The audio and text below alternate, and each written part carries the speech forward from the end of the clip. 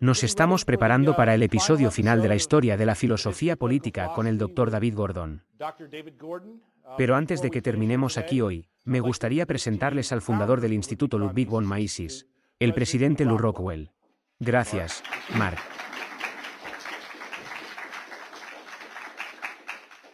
Antes de comenzar, solo quiero agradecer a los dos generosos donantes que hicieron posible esta conferencia esta semana, el señor Esteve Berger y el señor Kendar China. Estos son dos del pequeño pero muy efectivo grupo, los gestores de fondos de cobertura austriacos, ambas estrellas en Wall Street. Quien vino a nosotros porque había sido alumno de Walter Blocks en Holy Cross College. Esteve Berger por sus lecturas de economía austriaca. Y les agradecemos mucho por hacer posible este seminario Gordon. Y quiero aprovechar esta oportunidad para presentarle a David. David, si quieres venir aquí. Cada año, el Instituto Maisis presenta la medalla de la libertad Murray y Rothberg. Y David es el destinatario este año. Esto fue establecido por el señor George W. Connell. George era un ingeniero civil graduado de Purdue que trabajó en todo el mundo, en Libia, en Arabia Saudita, en California, en Texas, en Inglaterra, y tenía una gran devoción por los principios de la libertad. Y poco antes de su muerte en 2004, nos pidió que estableciéramos un premio Rothberg anual que se otorgaría a un académico o intelectual público por una vida de logros para los ideales de libertad y la tradición de Murray Rothbard. Y estamos encantados de darle esto a David este año. Es una medalla preciosa con la foto de Murray. También incluye una pieza de meta de 20 dólares de los días en que el gobierno estadounidense no se había corrompido por completo. Y, por supuesto, David podía contar muchas historias sobre David. Las personas que han estado en este seminario lo vieron en Internet ya saben que no puede haber demasiadas personas que puedan dar 10 conferencias de este tipo, sin una nota. Cuando tuve el privilegio de pasar por la oficina de Murray Rothbard en Las Vegas después de su muerte, una de las cartas que encontré fue de mediados de la década de 1970. Murray había estado en una conferencia de Liberty Fund y estaba escribiendo a alguien al respecto y habló un poco sobre la conferencia, pero dijo que lo más extraordinario y maravilloso que le había sucedido en la conferencia fue que conoció lo más parecido a un genio universal que había conocido en su vida, y era este joven, David Gordon. Y, por supuesto, se hicieron muy cercanos. Siempre pienso que, incluso aparte de los logros intelectuales de David, cuando los veía a los dos juntos, especialmente cuando veía la cara de Murray después de ver a David y no haberlo visto por un tiempo, era realmente la mirada de un padre sobre un hijo. Creo que David era en muchos sentidos el hijo de Murray, así como su colaborador intelectual y heredero. Y solo, ya sabes, una de las muchas cosas que David ha hecho esta parte rotesencial más maravillosa. Y David, por supuesto, tiene mucho más que hacer. Ha hecho mucho. Y David, es un gran honor presentarte esta medalla. Ven aquí arriba. Muchísimas gracias.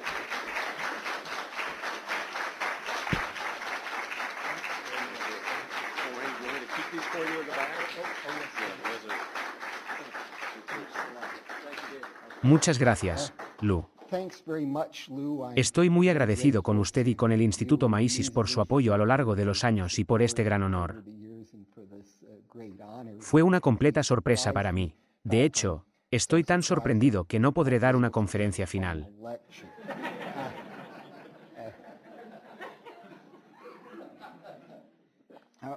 Hoy voy a hablar de Robert Nozick y Murray Rothbard. Robert Nozick vivió de 1938 a 2002. Se graduó de Columbia y luego asistió a Princeton.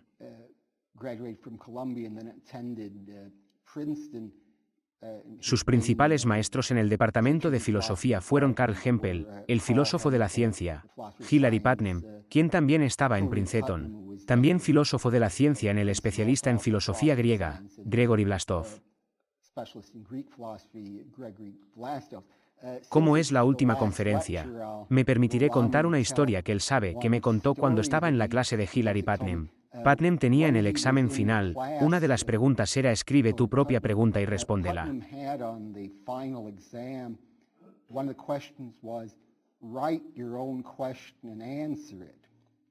Así que la pregunta de Nousik era escribe tu propia pregunta y respóndela. Y la respuesta fue escribir tu propia pregunta y responderla. Después, se convirtió en profesor en Harvard, donde enseñó, creo, desde mediados de la década de 1960 con un par de años de interrupción, donde estuvo en la Universidad Rockefeller hasta su muerte.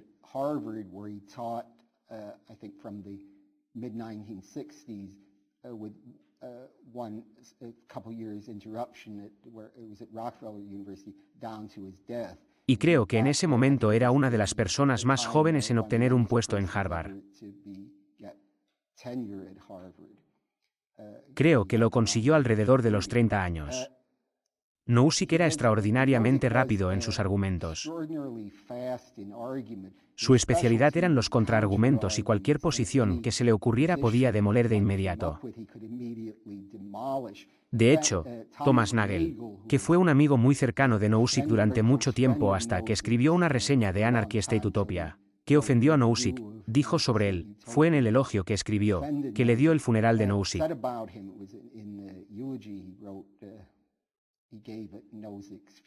Dijo que Nousik podía destruir cualquier posición que se le ocurriera, por lo que sabía que cuando escribiera algo tendría que dejar de dar argumentos en algún momento porque sabía que no podía encontrar nada que él mismo no pudiera demoler.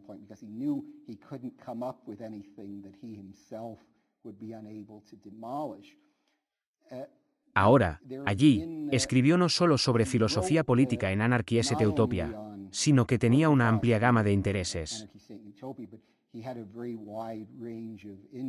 Escribió explicaciones filosóficas en las que salió en 1981 y escribió otras obras.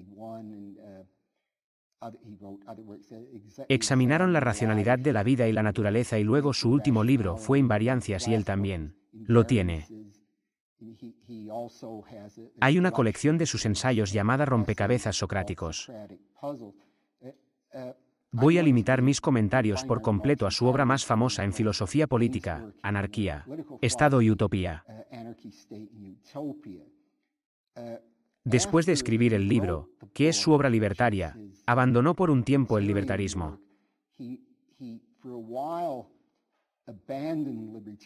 Los comentarios más antiliberales que hizo están en el libro de Examined Life. Pero hacia el final de su vida, volvió a una posición un tanto libertaria. Me dijo que su propia posición era que sentía que estaba bastante cerca de una alta exposición. No creía que se hubiera desviado.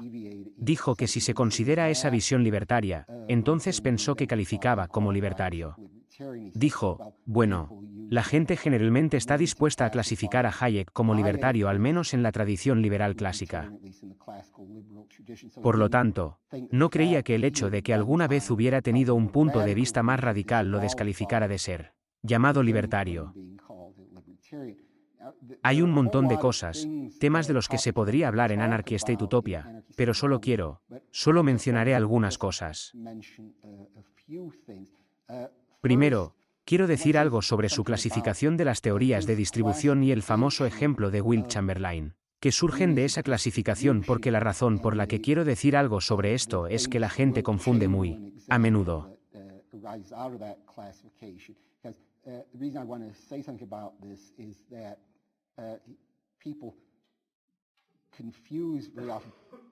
A veces habla de principios de distribución de estado final, a veces principios de patrón y la gente a veces se confunde un poco sobre lo que quiso decir con esto.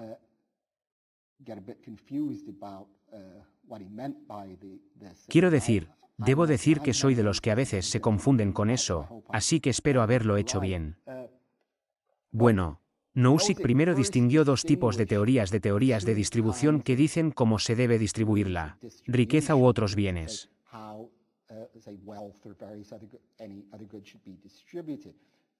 Una es una visión en la que lo único que importa es una cierta estructura de la distribución.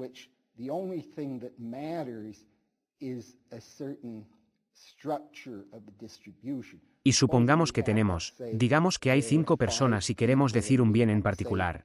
Digamos un solo bien con cinco personas y tenemos el bien distribuido de esta manera.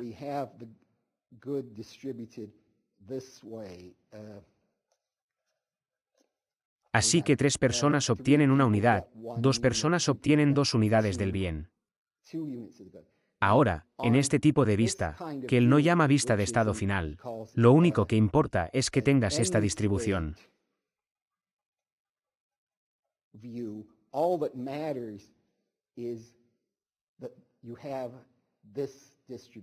Por supuesto, no tiene que ser este en particular, pero todo lo que importa es la estructura. Una cierta estructura, la distribución se instancia. Por lo tanto, no importa quiénes sean las personas en la distribución, siempre que se haya organizado de esta manera, entonces el principio se cumple y puede tener el intervalo de tiempo actual. Esto es bajo esto. Tendrías un segmento de tiempo actual donde lo que importa es cuál es la situación en el presente en el momento presente.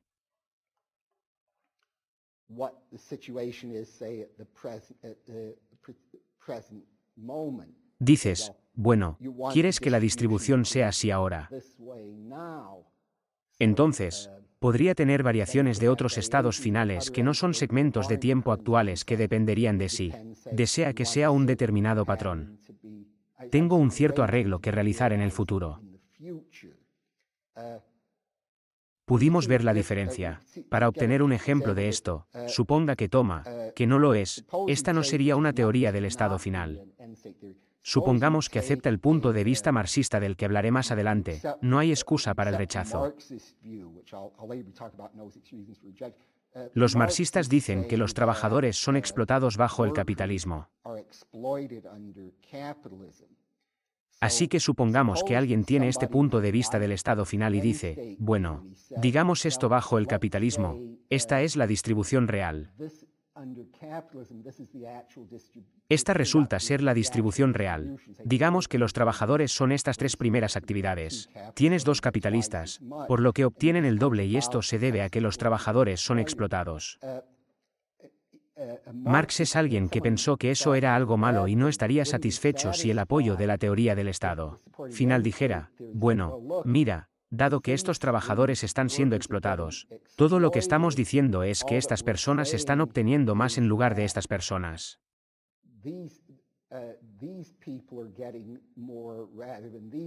Pero en su opinión, sería el mismo patrón con otras personas en la mejor posición, pero sería lo mismo. Sería el mismo arreglo. Así que el mercado diría, ya sabes, importa qué personas están en qué posiciones. Pero el de la teoría del estado final diría que no. Todo lo que cuenta es una disposición particular, es todo lo que se requiere para la distribución correcta. Así que estas son teorías de estado final. Ahora bien, estos se oponen a las teorías históricas. Ahora, en teoría histórica, la distribución no solo depende de este arreglo en particular. Depende de cómo llegaste al arreglo particular que tienes.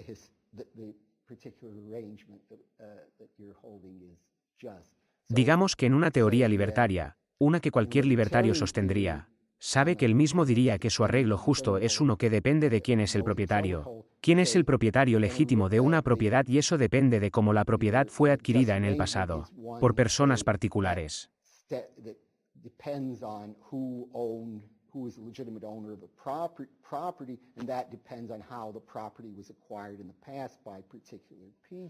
Como puede ver, en la teoría histórica no es solo una cuestión de un estado particular de cosas a la vez.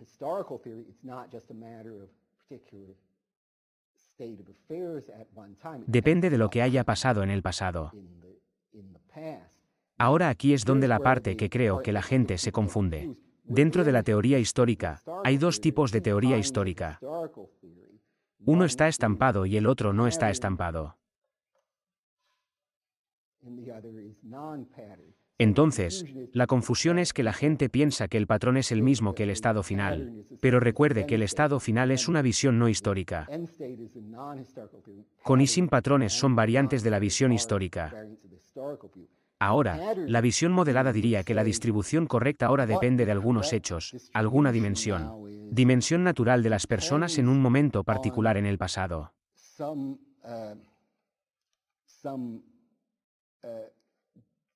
Some fact, some dimension, natural dimension of Por ejemplo, supongo que alguien dijo que la riqueza o los ingresos deberían distribuirse de acuerdo con la cantidad de personas que en el pasado han beneficiado a los consumidores, entonces esa es una dimensión particular. Cuanto en el pasado la gente benefició a los consumidores, que determina la distribución actual. In the past, uh, people benefited consumers, that determines the present distribution. Entonces, al conocer cierta información, ciertas características de las personas en el pasado, podemos determinar la distribución actual. Ahora también hay algunos ejemplos de exposiciones que dicen que todos deberían obtener ingresos iguales.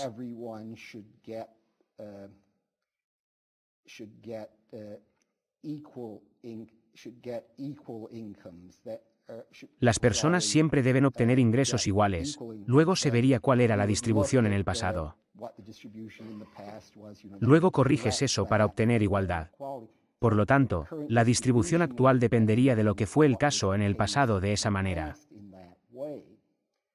Pero también podrías tener principios sin patrones. principles. Uh, uh, actually, uh, El punto de vista de Rawls sería un principio de patrón porque dice que la desigualdad debería ser en beneficio de los menos acomodados. Entonces, si tienes alguno, dirías en un momento en particular, que son, ¿cuál es la distribución? Entonces dices, ¿son estas desigualdades la ventaja de los menos acomodados?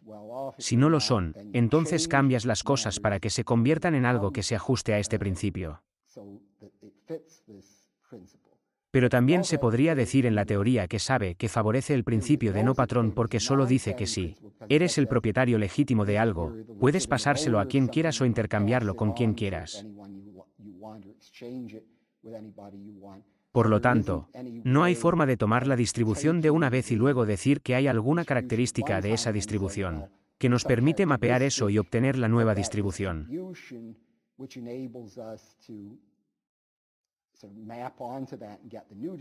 Ahora podrías decir que se te ocurre una forma complicada de ajustar la vista sin patrón y decir que podrías encontrar algo, decir que realmente hay un patrón allí y de alguna manera.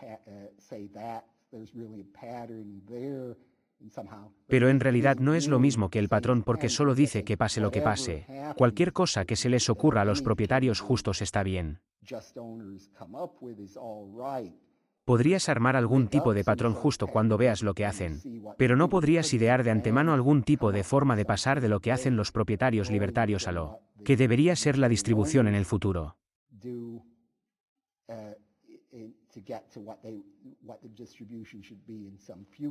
Solo tienes que decir que lo que se les ocurra está bien. Creo que podemos ver lo que es una vista sin patrón. No les he explicado a todos, pero puedo ver más si miramos el famoso ejemplo de Will Chamberlain.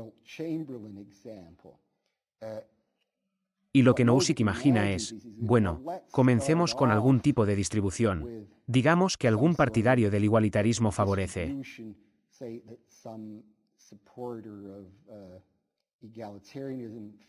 Supongamos que comenzamos, decimos que todos tienen un ingreso igual. Luego dice, bueno, a cada persona se le ha asignado una cierta cantidad de dinero. Eso dice suponiendo que Will Chamberlain, que para aquellos de ustedes que son demasiado jóvenes para recordar, era un famoso jugador de baloncesto. Supongamos que dice que jugará baloncesto y organiza un juego y le cobra a la gente 25 centavos de admisión para verlo jugar baloncesto. Y resulta que todos los demás están interesados en verlo jugar. Así que resulta que por eso recibe 250 dólares cero, lo que significa mucho más de lo que recibe cualquier otra persona. En aquellos días en que escribió en 1974, ese era un salario enorme. Me imagino que todavía lo sería si se ajustara a la inflación. Lo tomo incluso si no se ajusta a la inflación. Pero está bien, entonces Nozick dice, bueno, ¿cómo podría el igualitario objetar esto?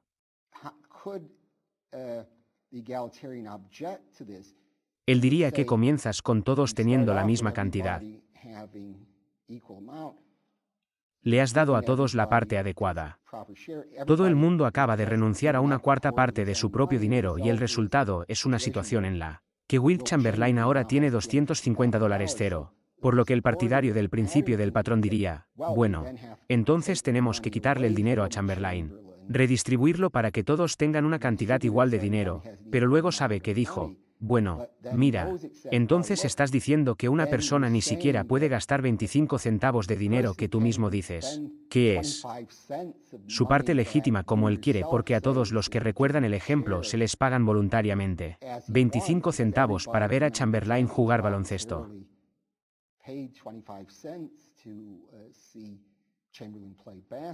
Así que digo que si quieres mantener un patrón, si quieres algún tipo de distribución de este tipo donde lo que la gente obtiene depende de alguna dimensión natural de lo que obtuvieron en algún momento en el pasado.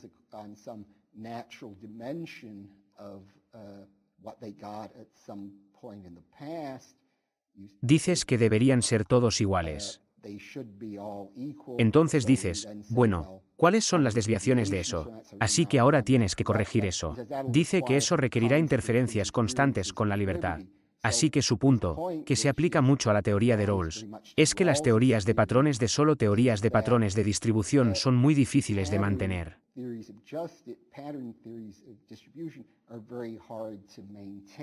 Y creo que esta es una idea muy importante.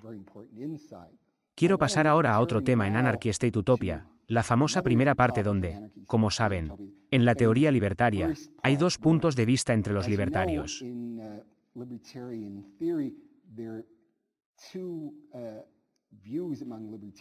Algunos dicen que un estado mínimo, el llamado estado de vigilante nocturno, es justificable y luego otros como Murray Rothbard dicen que no. Incluso la protección y la justicia deben ser proporcionadas por agencias competidoras en el mercado libre.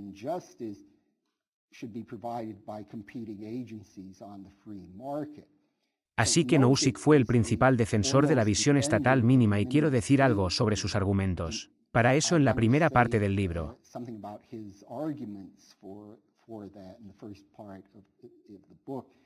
Desafortunadamente, este es su argumento para obtener su argumento. Implica decir un poco sobre ese capítulo sobre el riesgo, que es el capítulo más difícil de todo el libro.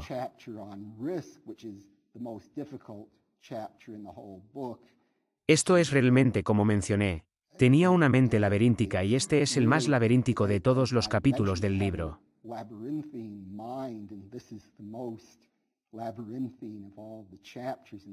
No es un escritor que acaba de exponer su argumento muy claramente. Él dirá algo y luego tienes que mirar una oración que dijo en otro lugar y tratar de averiguar cómo encaja. Encaja todo.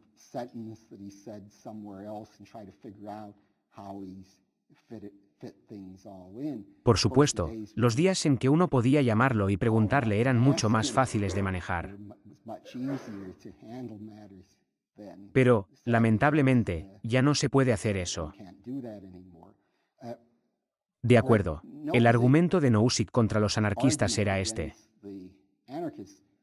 Dijo, bueno, quería comenzar con la situación que apoyan los anarquistas libertarios, donde comenzamos con que cada persona tiene derechos naturales libertarios y puede, es libre de protegerse a sí mismo y proteger a otras personas.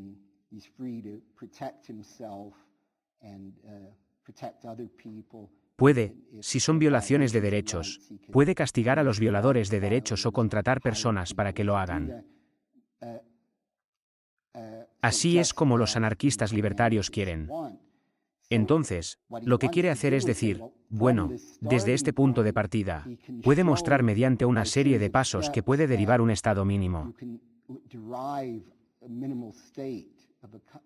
Por estado se refiere a una agencia que, que tiene un monopolio de facto o cercano al monopolio sobre el uso de los bosques en la sociedad. Digamos que tendría al igual que el Estado, los Estados Unidos. El gobierno es el árbitro final de cómo se usa la fuerza en los Estados Unidos.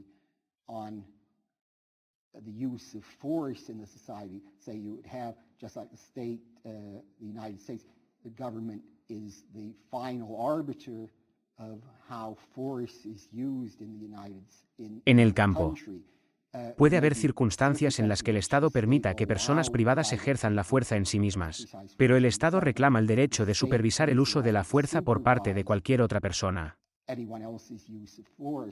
Además, un Estado proporcionará servicios de protección si es necesario sin costo para todos.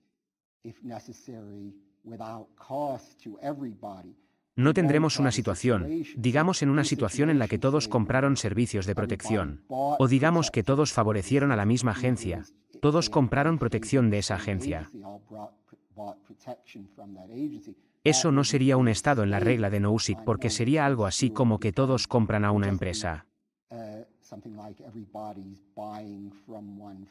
Digamos que resulta que todo el mundo compra este coche de una sola empresa. A todo el mundo le gustan los coches que esta empresa pone a la venta. Eso no significaría convertir la agencia de automóviles en una empresa socialista. Seguiría siendo una empresa privada, pero todo el mundo le compraría a esa empresa. Entonces, si tuvieras una sola agencia de protección, pero todos compraran eso, voluntariamente compraran la protección de eso, ese no sería un Estado nozickiano. Así que Nozick cree que puede demostrar que un Estado mínimo surgirá desde el punto de partida mediante una serie de pasos, ninguno de los cuales viola los derechos libertarios. Ahora bien, esto no es suficiente porque se podría imaginar, digamos que cada uno de ustedes voluntariamente me da todo su dinero. voluntarily gives me all your money. Todos deciden que les gustan mis conferencias y quieren que me apresure y termine, así que para que haga esto, me dan todo su dinero. Creo que es una muy buena idea, pero probablemente no sea desde tu punto de vista algo bueno que hacer. Así que no estarías violando ninguno de tus derechos o los derechos de cualquier otra persona si hicieras eso, pero no habría razón para hacerlo. Por lo tanto, no es suficiente para Nozick decir que hay una serie de pasos que todos pueden tomar que no violan los derechos de nadie.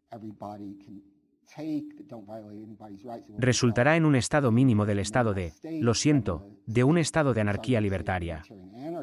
Él tiene que demostrar que cada paso será en beneficio de las personas que toman en ese estado.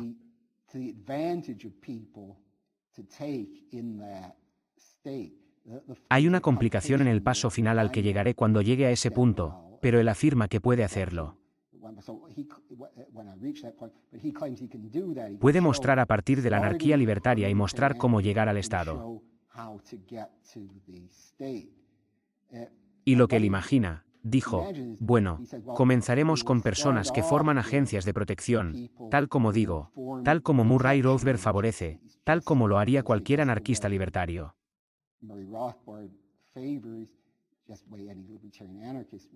Debo mencionar que dice en el prefacio de Anarchy State in Utopia, que fue una larga conversación con Murray Rothbard lo que lo hizo interesarse por los individuos en el anarquismo. Así que podrías tomar la primera parte del libro para ser en efecto una explicación de por qué no soy rothbardiano. Eso es lo que Nozick está haciendo allí. Así que has estado. Están compitiendo con agencias de protección privadas. Ahora Nozick asume que, suponiendo que una agencia obtenga más clientes, asume que las agencias generalmente serán más fuertes cuantos más clientes obtengan.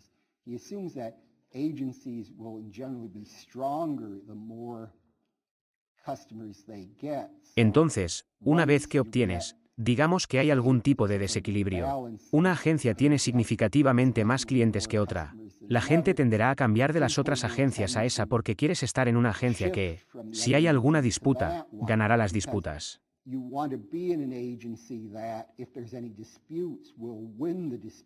Just imagina que sí. Por ejemplo, dos agencias entran en conflicto y no pueden resolver la disputa. Entonces es legítimo que luchen. Así que cree que eventualmente se te ocurrirá una agencia dominante, una agencia de protección dominante.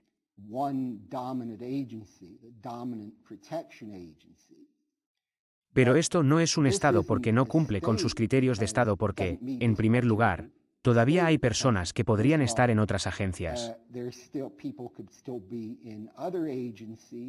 No le está diciendo a las otras agencias que no puede defender a las personas, tratar de atraer clientes o competir con nosotros. Ganará disputas si es que otras agencias eligen pelear con él, pero eso no impide que estas otras agencias existan.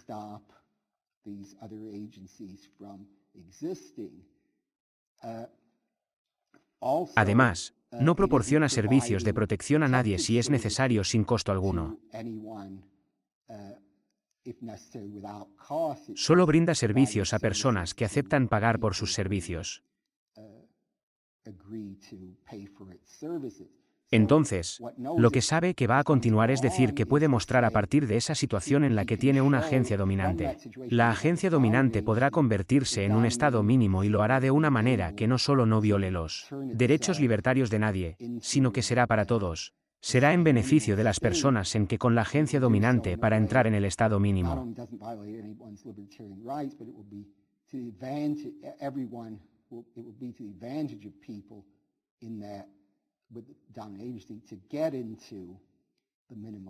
Encontrarán en su interés hacerlo. Ahora, antes de llegar al argumento de Nozick para eso, creo que hay un problema para el argumento tal como lo he presentado hasta ahora. Recuerde que lo que está diciendo es que debido a este proceso, la agencia más grande ganará sobre las agencias más pequeñas.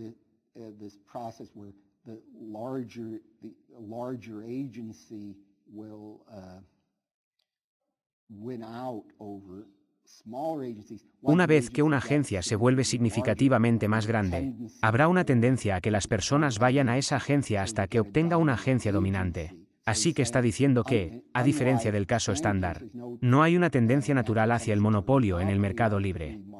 El tamaño de una empresa en relación con otras empresas, cuántas empresas hay en la industria, solo depende de las condiciones económicas particulares de la industria. No hay una tendencia natural al monopolio y sabe que aceptó completamente ese punto sobre la economía. Pero pensó que con los servicios de protección es diferente, porque la fortaleza de una agencia es la debilidad de otra. Así que tienes este efecto de bola de nieve se llevará a cabo. Entonces, lo que creo que es el problema con esto es que su argumento podría funcionar demasiado bien en este sentido. Si tiene razón, entonces no solo la gente de una agencia llegará a ser dominante sobre la otra.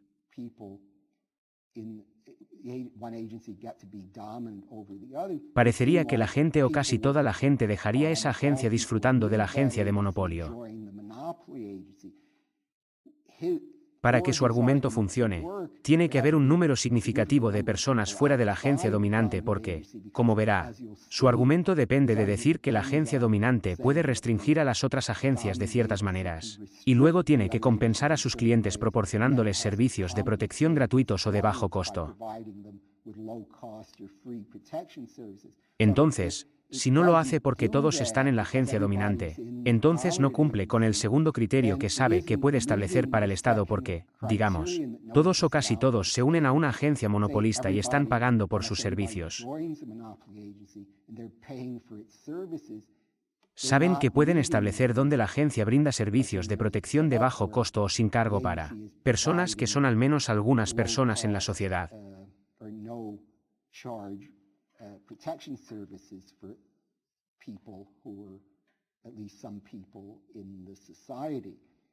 Así que Nozick parece tener una.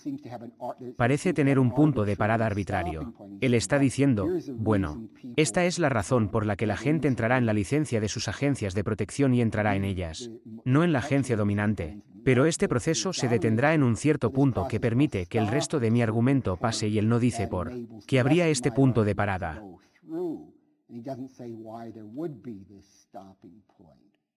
Muy bien, pero dejemos esto a un lado para que ahora tengamos, si tiene razón, hay una agencia dominante y varias otras agencias que son independientes. ¿Quiénes son las personas en esas agencias? Se están protegiendo a sí mismas.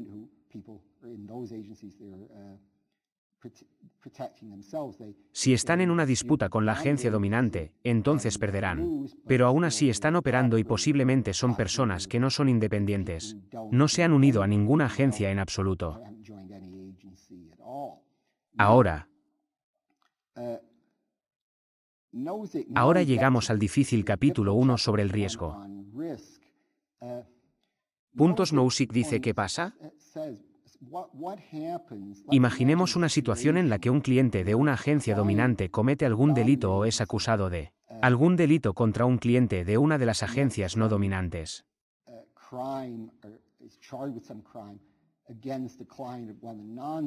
agencies. So Entonces, la agencia no dominante lleva a juicio al cliente de la agencia dominante y luego impone algún castigo.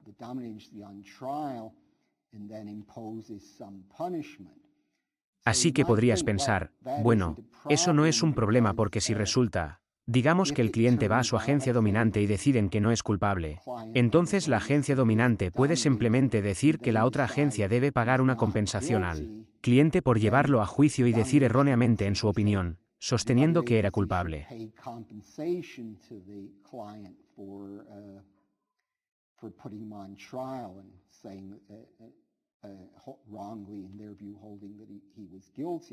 Entonces, ¿por qué hay un problema en particular aquí? ¿Por qué esto llevaría a dificultades para la agencia independiente? Puede que no les guste tener que pagar una compensación, pero todavía existen. Siguen operando.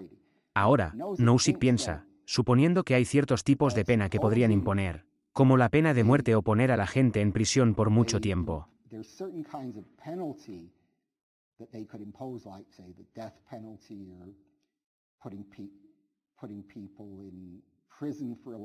Dijo que si las personas fueran a juicio, podrían tener miedo si, digamos, esta agencia no dominante usara lo que la agencia primero pensaba que era un procedimiento de decisión riesgoso, procedimientos que pensaban que tenían un riesgo indebido de imponerles estas malas sanciones. Procedures that they thought had an undue risk of imposing these bad penalties on them. Esto les daría miedo. La gente say, "Oh, diría, oh, bueno, ¿qué pasa si soy arrestado por esta agencia? Entonces podrían decidir llevarme a juicio donde digamos que solo necesitas seis de los doce miembros del jurado para un veredicto de culpabilidad y luego podría ser que estén sujetos a ejecución. Así que incluso si tuviera mucho miedo de esto para que me impusieran este arriesgado procedimiento de decisión,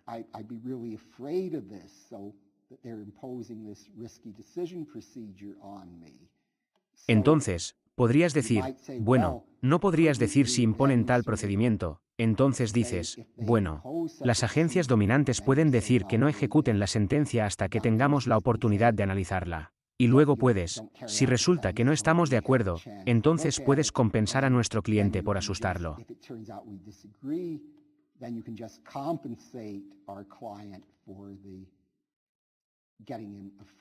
Así que todavía puedes tener una compensación allí. No tienes. Sigues pagando. Usted todavía puede tener la agencia no dominante todavía puede poner su Use los procedimientos que quiera. Solo tiene que compensar a las personas que se ponen bajo este riesgo si son declaradas inocentes por la agencia dominante.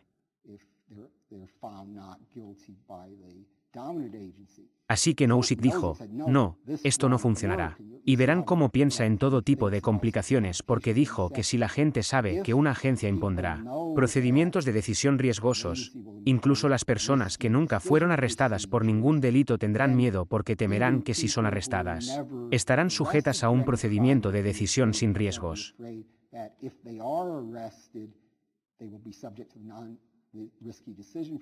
Así que tendrán miedo y nunca serán compensados porque recuerden, no son arrestados por nada. Así que la agencia no ha hecho nada por ellos. Es solo el temor de que si fueran arrestados y sujetos a estos procedimientos de decisión arriesgados, recibirían estas malas sanciones lo que los hace temer. uh, uh, Así que aquí no hay compensación por el miedo y Nozick piensa que, como resultado de esto, la agencia dominante puede decirle a las otras agencias que no puede imponer procedimientos de decisión riesgosos que, según nosotros, son riesgosos para nuestros clientes.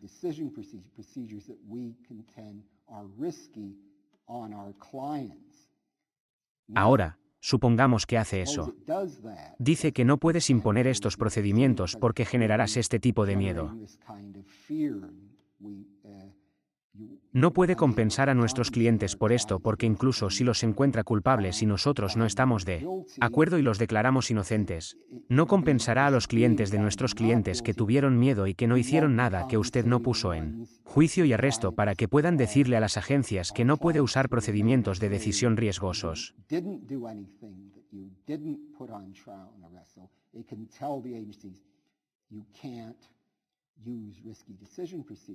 Pero una complicación más. Cuando imaginamos que estas agencias utilizan procedimientos de decisión arriesgados, no están haciendo nada que sea intrínsecamente incorrecto.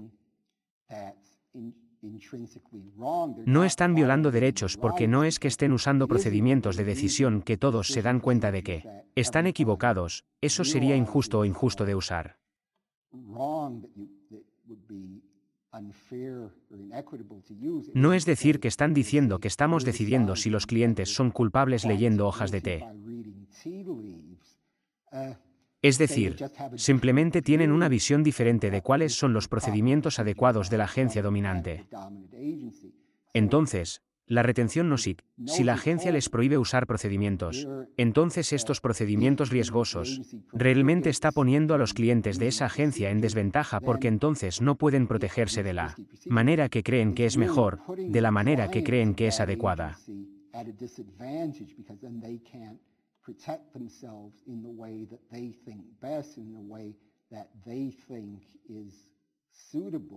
Piensan que estos procedimientos están bien, pero no pueden usarlos.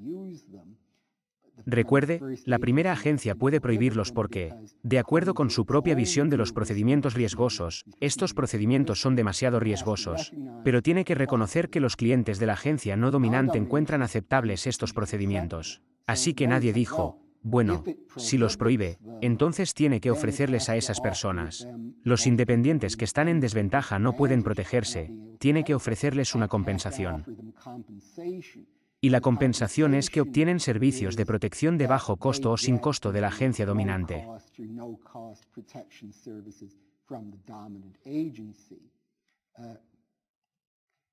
Por lo tanto, es un tipo de compensación extraña que si en lugar de poder obtener protección de la agencia que desea, recibe protección de la agencia que no desea.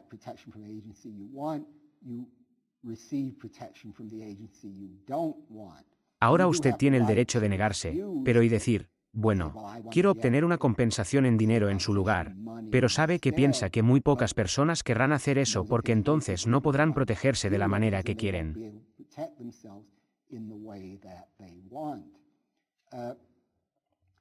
Así que Nozick piensa, bueno, si esto es correcto, ¿qué va a pasar? No solo tendrá una agencia que pueda ser dominante en el sentido de que casi ninguna agencia puede desafiarla, sino que es capaz de supervisar el uso de la fuerza por parte de todas las demás agencias.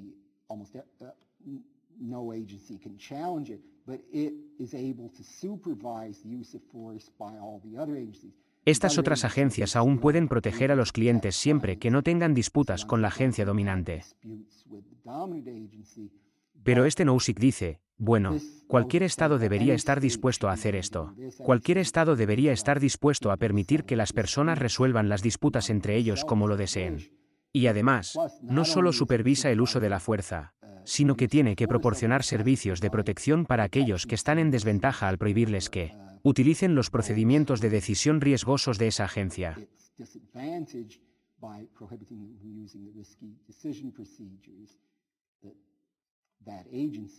Así que se cumple de acuerdo con Nozick estos dos criterios para el Estado. Entonces tenemos el primer Estado ultramínimo. Usted tiene la agencia dominante que prohíbe a otras agencias usar procedimientos de decisión riesgosos en sus clientes y luego se requiere moralmente de inmediato para transformarse en el Estado mínimo. El Estado que brinda los servicios de protección a precios que no son de mercado, son gratuitos para los clientes. Su desventaja. Protection services at non-market prices are free are free to the clients it's disadvantage so, Entonces, según Nozick, es un estado mínimo. uh, minimal state. Hemos mostrado, hemos sacado el conejo del sombrero.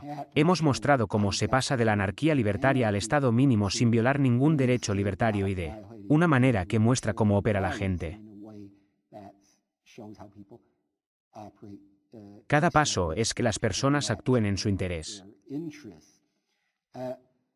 No encuentro esta derivación muy plausible porque primero de todo, sabe que primero se aplicaría solo a los casos en los que hay sanciones muy severas, como colgar o anelar.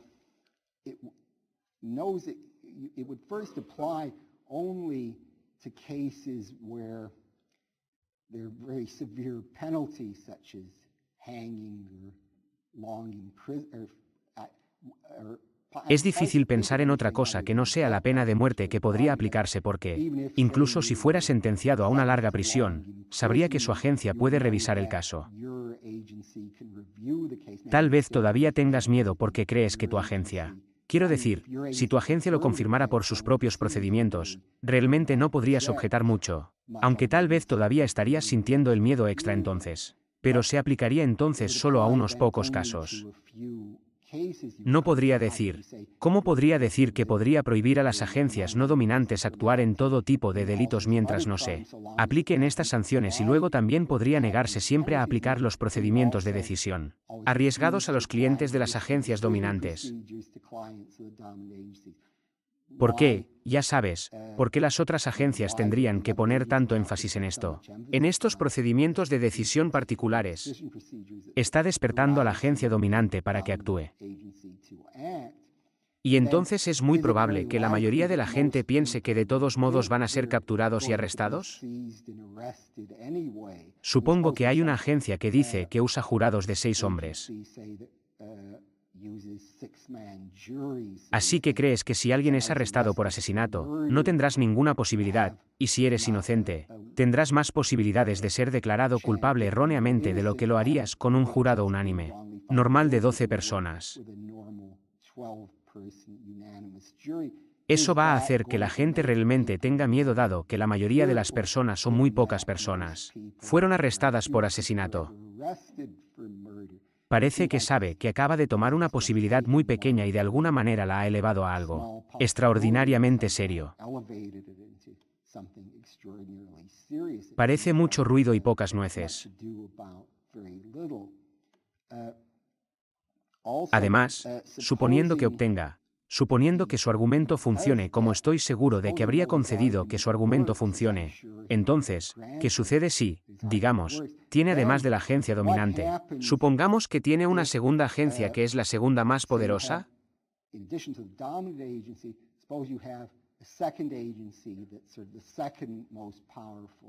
No podría usar el mismo tipo de argumento que NOSIC tiene para prohibir a los clientes de la tercera agencia. ¿Imponer procedimientos de decisión riesgosos a su cliente? Entonces, si hiciera eso, entonces estaría ejerciendo una función similar a un Estado. Por lo tanto, parece extraño decir que podría decirse que existe un Estado si la agencia dominante no es la única que puede prohibir a otras personas el uso de procedimientos de decisión riesgosos en la forma en que sabe que ganó.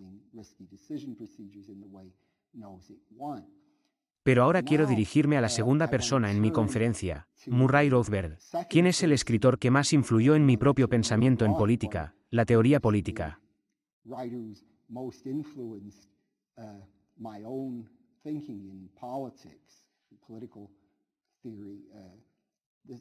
Murray Rothbard es el que creo que es el que tiene la posición más plausible de cualquiera de los filósofos que mencioné.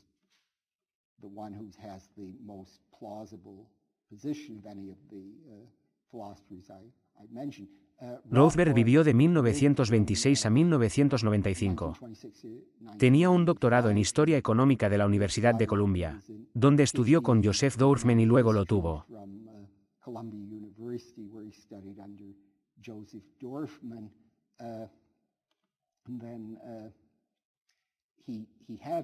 Trabajó para el Fondo William Volcker, donde escribió reseñas e informes sobre una increíble variedad de temas académicos. Tenía un dominio extraordinario de fuentes y libros sobre todo tipo de cosas, no solo economía, sino historia, filosofía, ciencias políticas, cualquier cosa que mencionaste, de la que sabía mucho.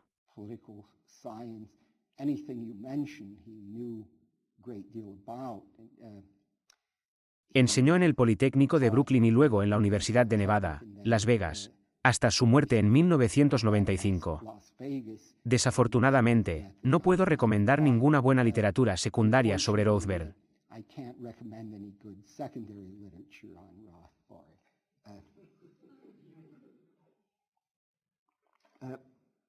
Quiero hablar en particular sobre el libro principal de Rothbard sobre teoría política, La ética de la libertad, que se publicó originalmente en 1982 y desde entonces ha sido reeditado además por el Instituto Maisis, publicado por el Instituto Maisis o disponible a través del Instituto Maisis, debo decir.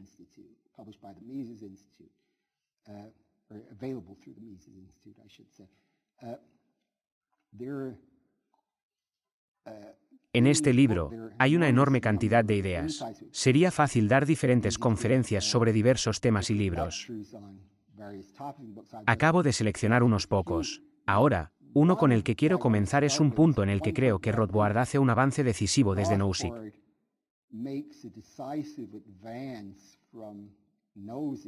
Nozick no es muy claro en este tema. Creo que probablemente tenía la opinión correcta, pero Rothbard es el más claro en esto y su precursor en las personas de las que he hablado antes es realmente Emmanuel Kant en este punto en particular.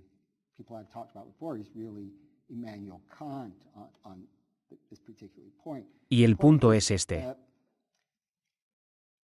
En la tradición lockeana en la que estaba Nozick de cómo se adquieren las propiedades. Los individuos pueden adquirir propiedades mezclando su trabajo con la tierra. Vienen a adquirirlo. Lack dijo que la tierra se da a todos en común. Entonces, todos comienzan con, comienzas con la propiedad común y luego preguntas cómo las personas pasan de la propiedad común a la propiedad individual. Ahora, en opinión de Rothbard, no afirmo que fue el primero en decir esto, pero como digo, Kant también mencionó esto. De lo contrario, está muy claro en el sistema de Rothbard que este es el caso. Comienzas con la propiedad como sin dueño. Dices que nadie tiene derecho a la tierra hasta que la gente haga algo para adquirirla. Ahora, digamos que Nozick no está claro en esto porque tenemos que distinguir cuál es la situación en la que Rothbard describe la propiedad desconocida de esta situación.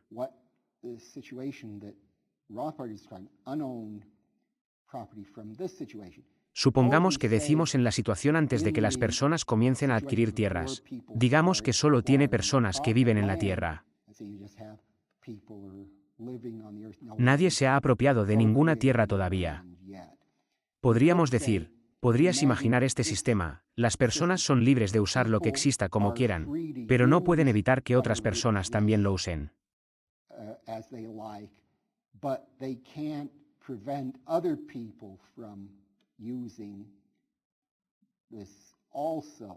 No me refiero a imaginar un estado jobesiano en el que tengas derecho a tomar lo que quieras en cierto sentido. No tienes la obligación de no hacerlo, pero cualquier otra persona es libre de quitártelo si puede. Me imagino una situación en la que digamos, si digo que me he encontrado con un oasis en el desierto,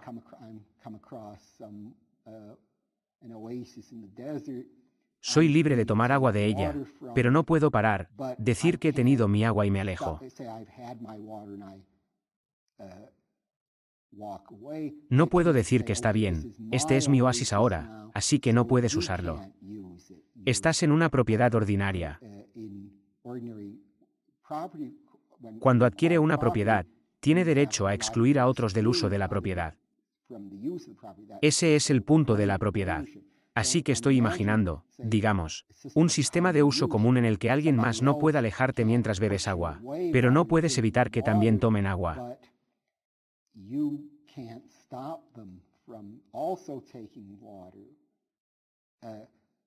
Podríamos ver esto, una situación como esta es sacar libros en una biblioteca pública.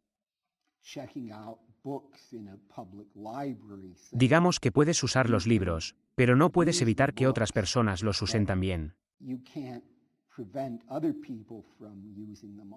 Diga que cuando los devuelva, entonces otras personas son libres de sacarlos. No puedes decir que es mi libro.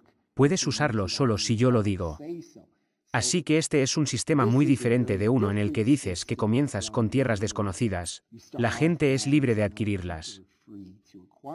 Ahora, la razón por la que creo que Nozick no dice explícitamente que está comenzando con una regla de uso común, pero la tiene, es que dedica mucho tiempo a las condiciones de la mezcla laboral de LAC.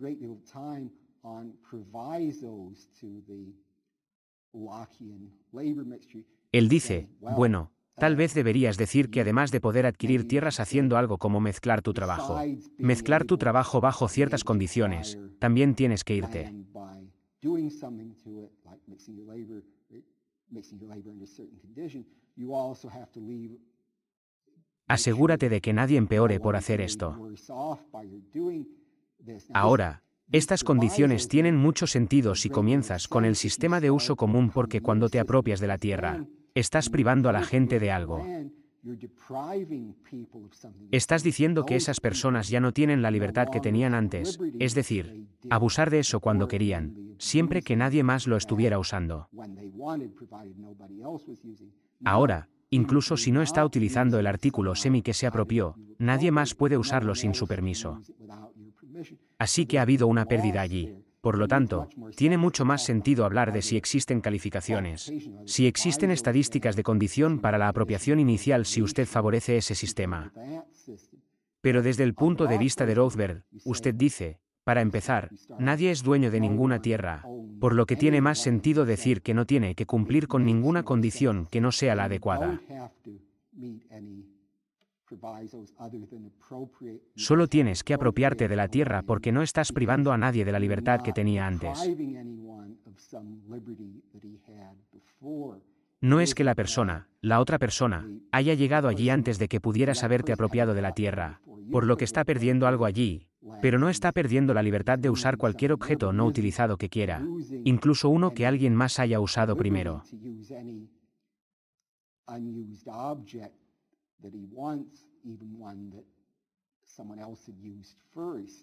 Así que creo que esta es una ventaja decisiva de Rothbard sobre Nozick. Nozick es, creo que podría salir posiblemente de decir que favorece el sistema de uso común. Él podría decir, bueno, los provisores son solo porque no podemos especificar completamente cuál es el principio correcto de apropiación, pero es muy confuso lo que quiso decir.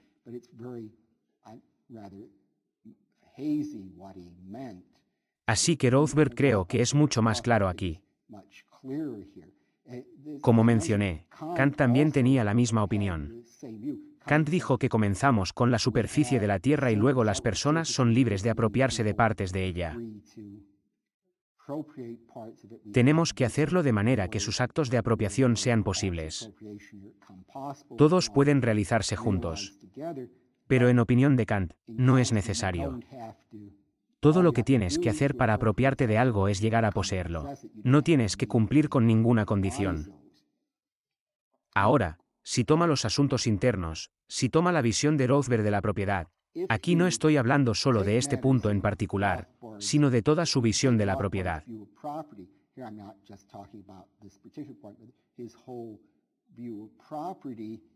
Entonces creo que se puede ver que el problema de la distribución, como lo ha planteado Rawls, realmente no surge en absoluto porque Rawls está diciendo, bueno, estamos comenzando con un grupo de personas en una sociedad y estamos preguntando cómo deberíamos distribuir toda la tierra, digamos todo el territorio en el que reside el grupo, como imaginamos. Digamos la gente de los Estados Unidos, todos se reúnen y dicen, ¿cómo deberíamos distribuir la tierra en los Estados Unidos? ¿Cuáles deberían ser las reglas que rigen la distribución de la propiedad?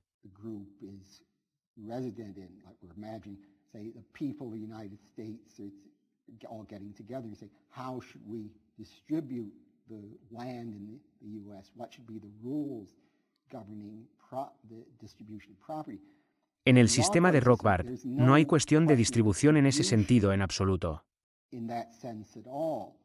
Y él comienza todo. Creo que puedes ver esto en uno de los capítulos muy importantes. Creo que el capítulo 6 llamado Filosofía Social de Crusoe.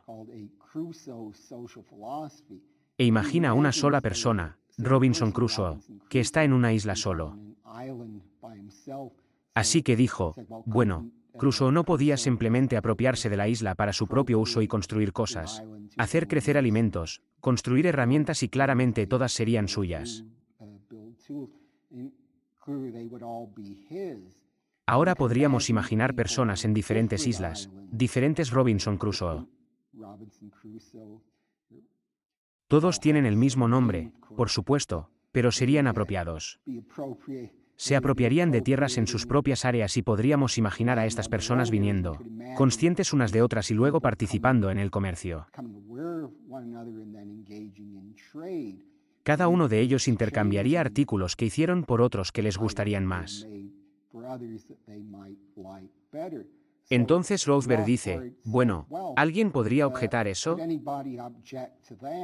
Decimos que cada uno es legítimo, el dueño de su isla, su isla, y luego la gente se involucra en el intercambio voluntario.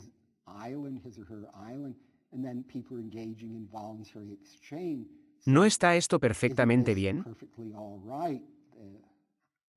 No podíamos hacer que un Raulsian viniera y dijera, oh, no puedes hacer eso, tienes que cumplir con ciertos criterios de intercambio.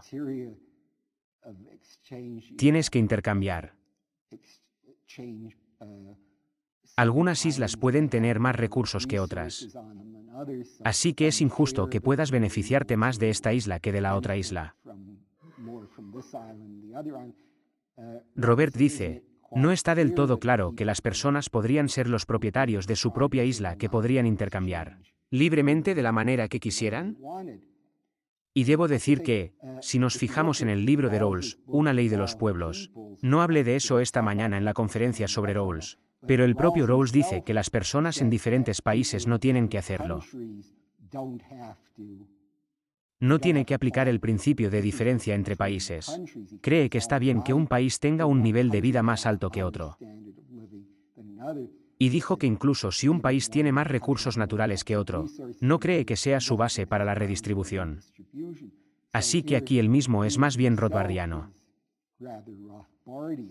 Simplemente no aplica eso dentro de la sociedad. Pero ahora Rothbard dice, bueno, supongamos que imaginamos que en lugar de tener a cada persona en una isla separada, tenemos a todas las personas en el mismo territorio y a cada una se le asignan propiedades.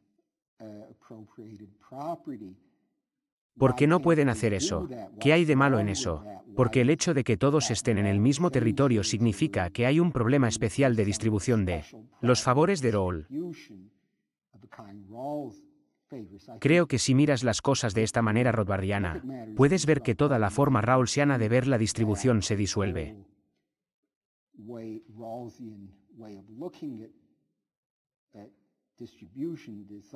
No hay un proceso de distribución separado en absoluto. Solo tiene individuos que adquirieron propiedades legítimamente y luego esos individuos son libres de comerciar o dar regalos como lo deseen. Eso es todo lo que hay. Ahora, en la ética de la libertad, Rothbard no se limita a lo que sucede en un libertario.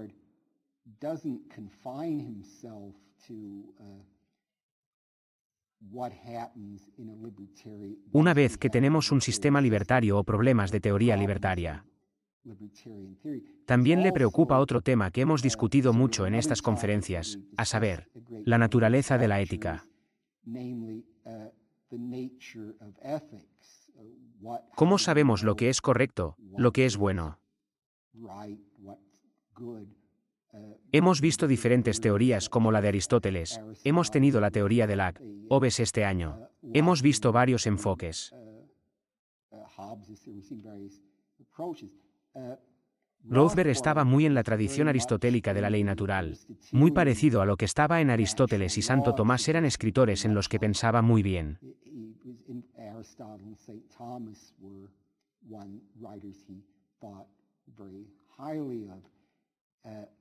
Sin embargo, ahora pensaba que había habido una modificación importante en los puntos de vista correctos de la ley natural, aplicados a la filosofía política, comenzando con la y comenzando especialmente con la y otros filósofos individualistas, que era mejor que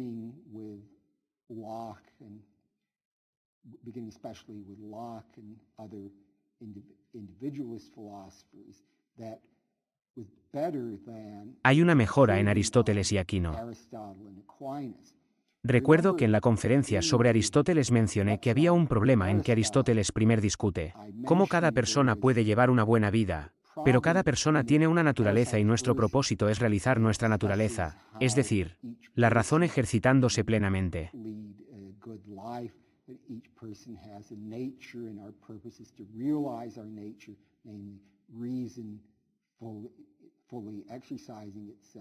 Así que él tiene un recuento completo de cómo lo hacemos.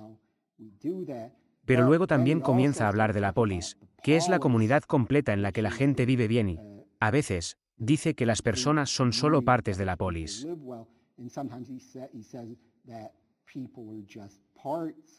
La pausa es superior a las personas. Sugerí seguir a Fred Miller que hay una manera de tomar a Aristóteles de una manera más individualista.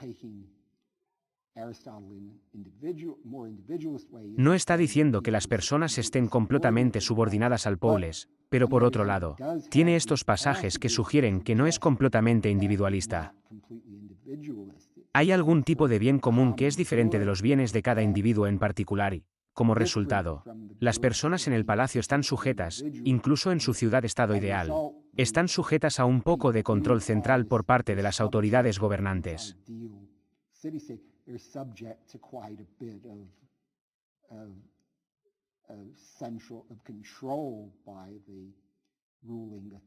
Ahora dices las formas de evitar eso diciendo personas, como Robert lo ha señalado, diciendo que las personas han consentido en ingresar a esta ciudad-estado en primer lugar y eso de alguna manera responde al problema. Pero luego, por supuesto, recuerde que son esclavos por naturaleza y, por lo tanto, todavía tiene dificultades allí. Luego, de manera similar en Aquino, todavía tienes el concepto del bien común también que es diferente del de los individuos. Y hay todo tipo de disputas en su teoría sobre cuál es la relación entre el bien común y el bien individual. Entonces Rothbard pensó que es importante eliminar la noción del bien común de la ley natural si está tomando el bien común como algo aparte del bien de los individuos que están en la sociedad.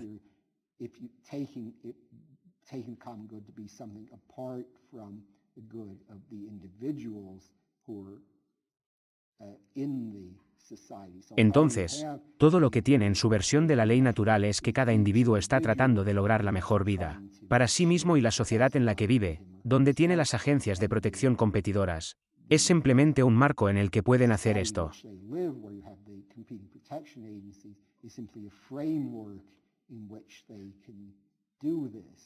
No lo es. No hay entidad con un bien propio.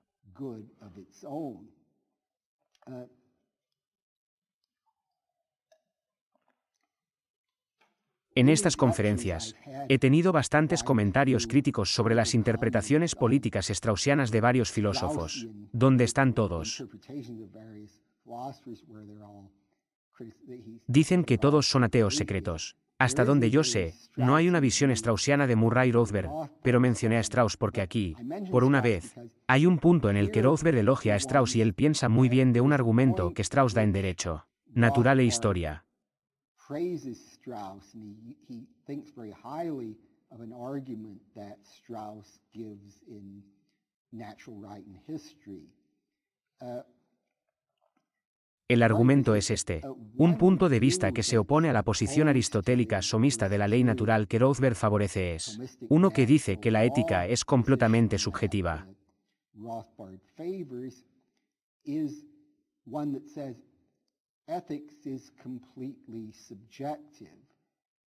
Las personas. Los términos éticos solo expresan las preferencias de la persona. Si digo que algo es bueno, o es solo equivalente a una declaración de que me gusta esa cosa o no estoy diciendo que me gusta, sino que solo estoy expresando un me gusta por ello.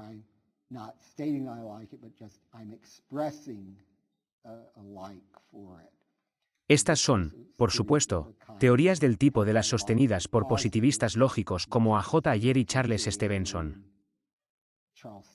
Tienen teorías. No hay verdad en la ética.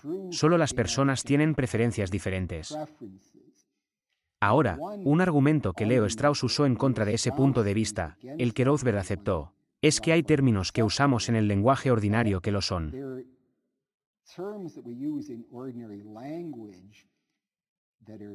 Tener criterios, criterios claros de uso, pero sin embargo usar estos términos implica algún juicio de que algo es bueno o malo.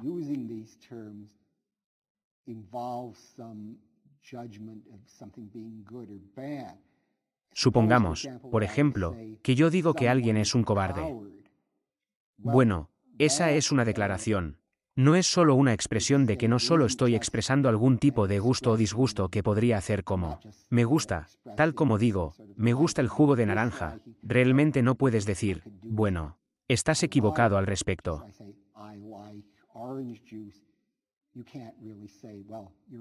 Solo, oh, me gusta el jugo de naranja. Si no lo haces, no estás en desacuerdo conmigo. Solo tienes una preferencia diferente. No te gusta el jugo de naranja. Aquí, si digo que alguien es un cobarde, entonces podrías decir, no, no lo es en absoluto y decir que realmente no estaba huyendo en la batalla. Entendió mal lo que estaba pasando. Si me equivoqué, no podría decir, bueno, solo digo que es un cobarde, eso es todo. Existen criterios para el uso correcto e incorrecto del concepto. Sin embargo, si he dicho que alguien es un cobarde, ciertamente lo he expresado. He dicho que la persona tiene un mal rasgo. Así que solo usar el término necesario implica que también he hecho un juicio de valor.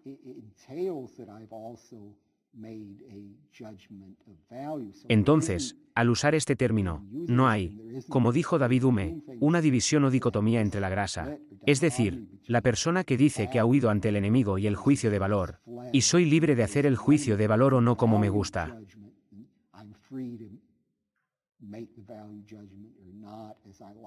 Los dos están inextricablemente combinados. El solo hecho de decir que el uso de los términos también implica juicios de valor.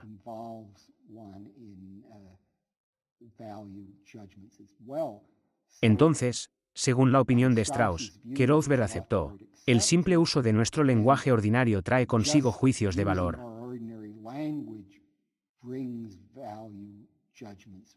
Así que los valores no son, como dice este punto de vista, puramente subjetivos.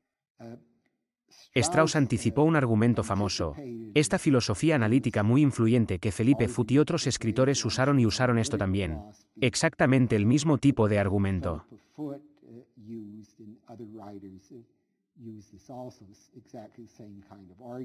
Y Ludwig von Mises no aceptó el argumento. Respondió a Strauss y su respuesta anticipó la respuesta que RM aquí. Recuerda que lo mencioné al responder a Rawls. Le di a Philip el pie.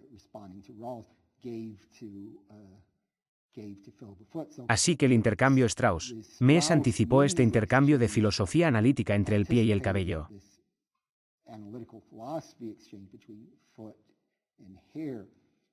Debo decir también de pasada, entiendo que Mises y Strauss realmente no se querían personalmente. Se conocieron en una conferencia sobre relativismo donde se discutió este tema y no se llevaron nada bien. Creo que Murray Rothbard me dijo que la observación de mesa de Strauss, dijo, en Alemania no era más que un maestro de secundaria. Teacher. Uh, Entonces Rothbard, como digo, defendió una ley natural de visión y pensó que este era un argumento que podría ser un muy buen argumento para refutar el subjetivismo ético.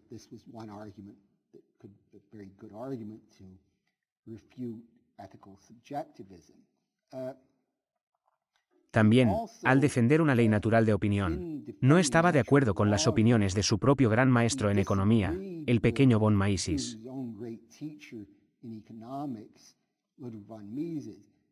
Mises pensó que se podía sortear todo el problema de la naturaleza de la ética y aún defender el libre mercado.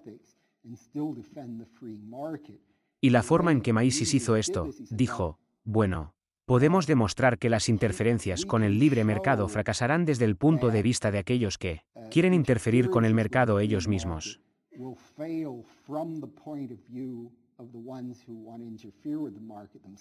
Por lo tanto, no tenemos que apelar a la ley natural, lo que significa que no aceptó la ley natural. No tenemos que apelar a ningún juicio de valor controvertido. Solo le decimos a la persona que diga, bueno, quieres lograr ciertos objetivos y las medidas que propones no te llevarán a donde quieres. Recuerda al igual que uno de los imperativos hipotéticos de los que estaba hablando en la conferencia de contenido. Si quieres esto, debes hacer eso. Así que yo estoy diciendo que no conseguirás lo que quieres haciendo lo que dices. Así que no es un juicio de valor decir que no deberías ser un intervencionista socialista. Significa correcto, es una especie de agresión imperativa. Hay una especie de principio que nadie podría rechazar racionalmente de que debes adoptar los medios adecuados para los fines que deseas. Entonces eso es todo lo que se necesita de acuerdo con los contratos de arrendamiento para defender el libre mercado.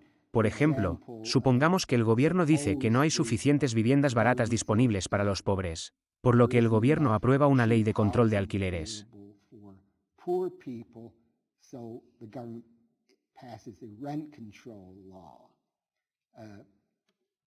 Ese es un ejemplo, por cierto, de que hay una historia interesante en la que no voy a entrar ahora que involucra no en relación con el control de alquileres, pero dejaré pasar la oportunidad de mencionar para discutir que tal vez alguien esté interesado en el periodo de preguntas del que puedo hablar.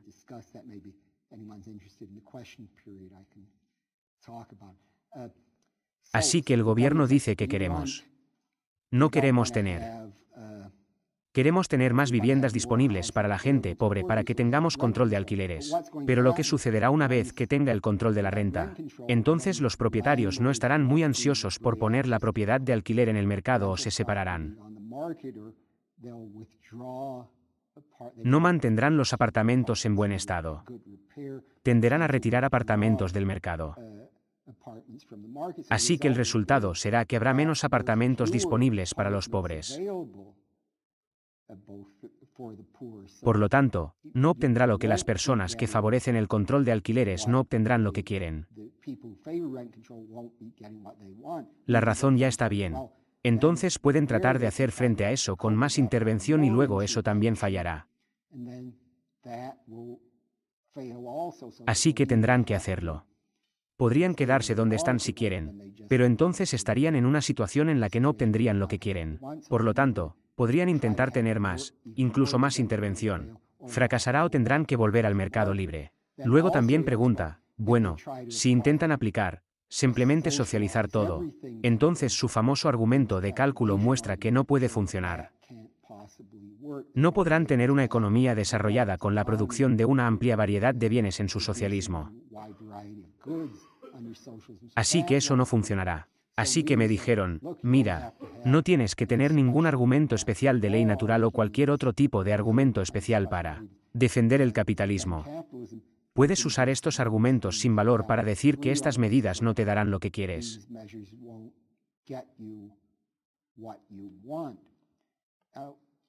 Rothberg no rechaza estos argumentos. Por el contrario, él piensa que hay mucho para ellos. Ciertamente cree que Maisis tiene razón en que el intervencionismo falla, el socialismo no funcionará. Él mismo ha dado los mismos puntos en sus propios libros, pero dice que no es suficiente usar estos argumentos, no es suficiente para defender el mercado.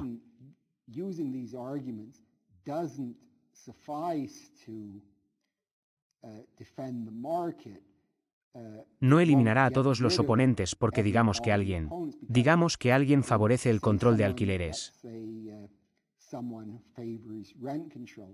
Él podría decir, bueno, lo que estoy buscando son apartamentos baratos para un grupo particular de personas y me aseguraré, por la legislación, de que tengan acceso al apartamento de bajo costo.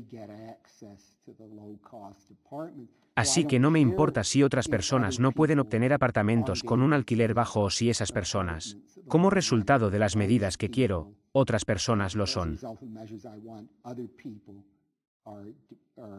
Más personas no pueden conseguir apartamentos que antes. No me importan los efectos del tiempo de otras personas, ya que los que quiero obtienen algo. Entonces, si alguien tomara ese punto de vista, entonces el argumento de Miss no funcionaría en su contra porque no tendrían el objetivo que Maisis me atribuye. Maisis ciertamente tiene razón en que ciertos objetivos no se pueden lograr mediante la intervención, pero no ha demostrado que todos los intervencionistas tengan que tener esos objetivos particulares. Es posible que tengan otros objetivos que se puedan lograr, así que no podemos. Aunque los argumentos de Maisis son una parte extremadamente importante del caso para el premercado, no hacen todo el trabajo. Solo quiero concluir con otro, creo que es muy bueno. Excelente visión en el libro que Rothberg tiene donde discute el criterio de unanimidad. uh, Rothbard uh.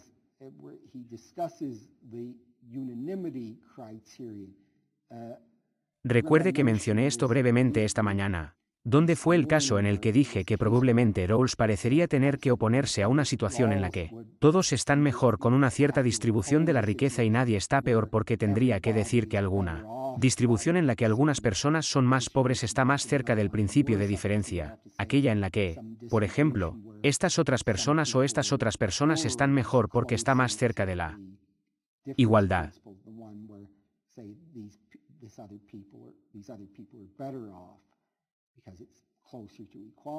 Así que Rothberg no rechaza los criterios de unanimidad. No lo hace en este sentido, no dice, bueno, supongamos que algún cambio mejora a algunas personas, no empeora a nadie. Y decimos, ¿cómo se establece esto? Supongamos que todos aprueban el cambio, entonces está bien. No dice, no, eso está mal. Todo el mundo aprueba un determinado cambio, no deberíamos hacerlo. Pero él dice que esto no es así. No se puede usar esto como base de una ética política real, correcta y completa.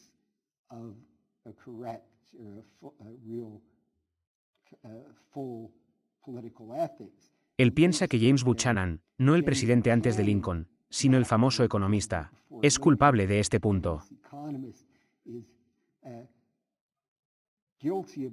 Buchanan y su colega Gordon Talek intentan justificar las medidas utilizando los criterios de unanimidad y luego dicen, bueno, ya que no se puede tener unanimidad, luego intentan decir, bueno, tienes unanimidad práctica, acércate a eso.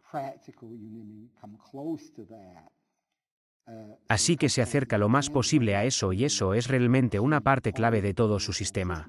Entonces Rockburg dijo, bueno, ¿cuál es el gran problema de hacer filosofía social de esta manera? Confiando en los criterios de unanimidad, privilegia el status quo, el estado de cosas existente. Quiero decir, supongamos que comienzas con un sistema de esclavitud. Algunas personas son esclavas de otras.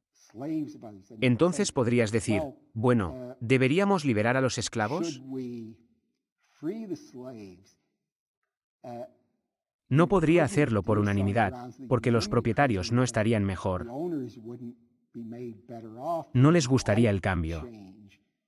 Por lo tanto, liberar esclavos no cumple con los criterios de unanimidad si pudieras cortarlo, pero ciertamente diríamos que deberías hacerlo. Los esclavos están siendo privados de sus derechos naturales. Así que Rothberg dijo que no se puede, ¿Cómo se puede en otras personas que favorecen la economía del bienestar moderna eliminar los derechos naturales? Necesitas esto para una ética política correcta. Y en esto creo que tenía toda la razón. Así que creo que ahora terminaré con cualquier pregunta.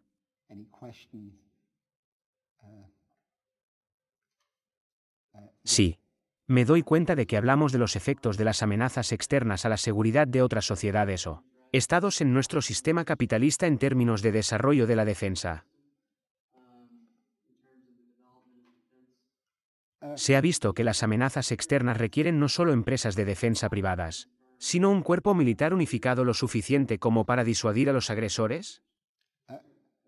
Sí, la pregunta era si Nousik o Rothbard hablarían sobre cómo la sociedad anarquista de un individuo respondería a las amenazas externas y se sugirió que, en respuesta a tales amenazas, una sociedad necesitaría una forma unificada de defensa que el sistema anarquista de un individuo no funcionaría.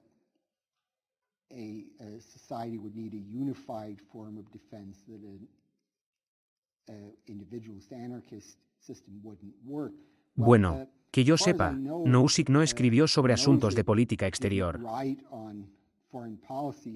Tenía opiniones sobre política exterior. Creo que probablemente habría estado de acuerdo contigo en el punto en que no lo hizo. Rothbard escribió sobre temas de defensa de política exterior. No estaba de acuerdo contigo afirmó que la Agencia de Protección Privada del Sistema de Libre Mercado podría defenderse adecuadamente contra otras agencias contra amenazas externas.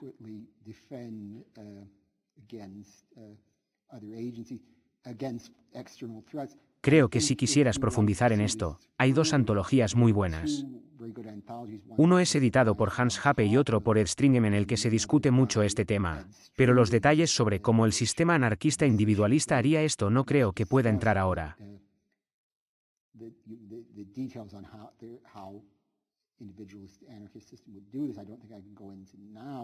Pero en general, diría que si usted dice, si pensamos que en general el mercado es más eficiente que el gobierno en la prestación de servicios, no está claro por qué la defensa debería ser una excepción.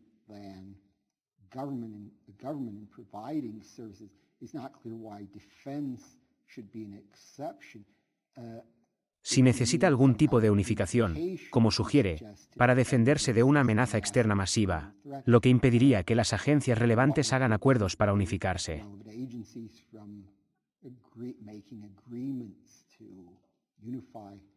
Tener una medida de defensa unificada. No es un área en la que la política de defensa no sea algo en lo que me especialice. No puedo darte una respuesta más detallada. Matthew. Una pregunta relacionada, nunca la había leído antes, pero cuando lo escuché describir su teoría sobre cómo la defensa se organiza a través de la asociación privada, y que, dependiendo de las fuerzas del mercado, uno podría volverse dominante o competir entre sí o estar en conflicto, se hundiría. Y dijiste que es como una perspectiva de Estado minimalista. Podrías ver este tipo de lógica difuminándose en la noción de la Guerra Fría de la teoría de bloques de los estados nacionales que representan la libertad, como, ya sabes, el primer mundo, el segundo mundo, el tercer mundo, supuestamente como bloques que representan diferentes concepciones de la libertad? De nuevo, no lo creo. Creo que es una idea terrible, pero mucha gente del siglo XX pensaba en esos términos. Podría ser que si ves la asociación privada, la lógica moviéndose hacia estados minimalistas competitivos, la gente podría terminar identificándose con burocracias competidoras como los vendedores de libertad que lideran esa dirección. La pregunta era, describí en mi charla cómo Nozick discute las agencias de protección privadas competidoras.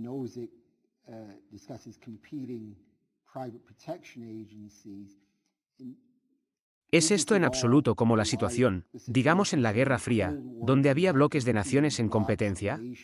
Algunos dicen que uno afirmaría representar la libertad y habría oposición de diferentes burocracias.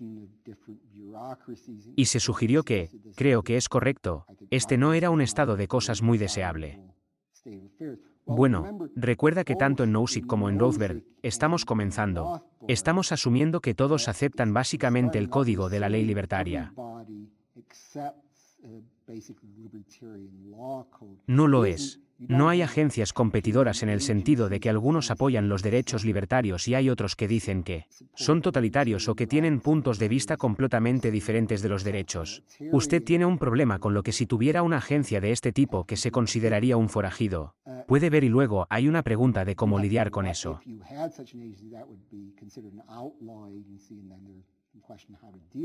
Pero en el sistema que sabe que se está configurando, no lo eres, no tendrías tal fenómeno. Esa no es la forma en que estableces la hipótesis. Tienes esto en lo que entra en la tercera parte de energía, digamos utopía sobre utopía. Tienes personas que tienen comunidades con diferentes concepciones de la vida, están dentro del marco de un estado mínimo.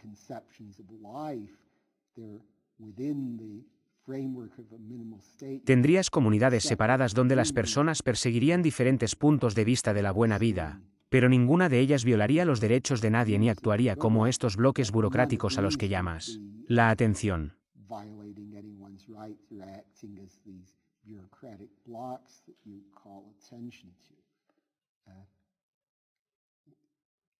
Dan? Usted mencionó el esencialismo aristotélico de Rothberg como casi un método para realizar la teoría de la ley natural y los métodos de libertad. Me preguntaba si cree que su capítulo sobre el castigo moral es consistente con ese método, o si cambia de marcha hacia una justificación más casi deontológica para el castigo como respuesta a las violaciones de los derechos de propiedad. Parece que ese capítulo se basa más en el postre o la legitimidad de las prácticas que en una descripción de cuál sería la tendencia natural de la aplicación de la ley.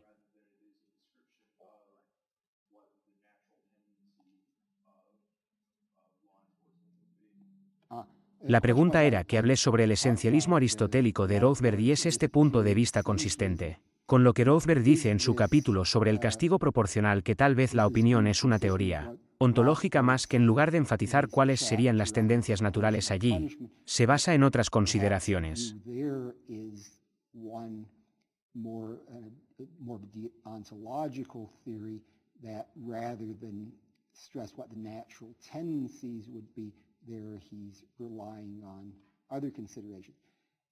Bueno, es cierto que las opiniones de Rothbard en ese capítulo son diferentes de las de Aristóteles. Recuerde que la opinión de Aristóteles era correcta. uh, La justicia fue que restauraste la situación lo mejor que pudiste a lo que era antes de que se cometiera el crimen. Y de hecho, Fred Miller cuando habla de esto tiene una nota al pie que cita, digamos que Randy Barnett tenía una opinión similar. Desde el punto de vista de Randy Barnett, no tienes nada más allá de hacer que la persona que comete el crimen devuelva lo que le han dado. Pero si esto significa que no podrías tener una teoría aristotélica sobre la base del camino para el uso de Rothbard, no lo sé.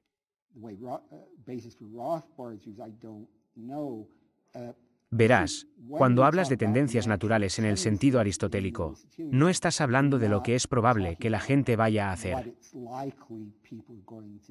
Estarías diciendo que es lo que mejor se desarrolla, lo que está más de acuerdo con el ejercicio de la razón al máximo.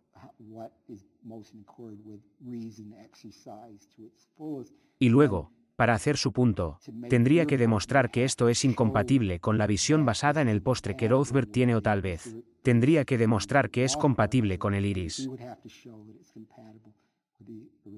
Realmente no intenta derivar la visión de ninguna visión o visión de las esencias.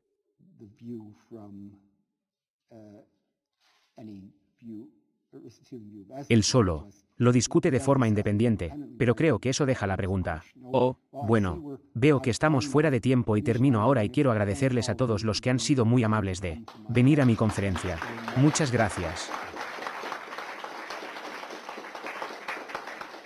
En nombre de Lou Rockwell, el Instituto Maisis, quiero agradecerles por estar aquí esta semana. Quiero agradecer a nuestra audiencia que nos visita en la web. Estas conferencias se archivarán en los archivos multimedia de maisis.org. Y una vez más, me gustaría agradecer a Esteve Berger y Ken Garsina por patrocinar este evento y a nuestro equipo de producción y personal por cuidarnos tan bien esta semana. Y muy especialmente al Dr. David Gordon para agradecerle y felicitarlo por su trabajo aquí esta semana.